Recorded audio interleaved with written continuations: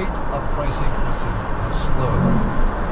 Now, one of the big reasons it hasn't slowed more is how much it costs to keep a roof over our heads. Shelter, says the Bureau of Labor Statistics, is driving more than 70% of inflation right now. At the same time, though, the Fed's rising interest rates are having quite an impact on real estate, including rents. So, with that in mind, Marketplace's Samantha Fields gets us going. Think back to the first year or two of the pandemic when the housing market and later the rental market really took off.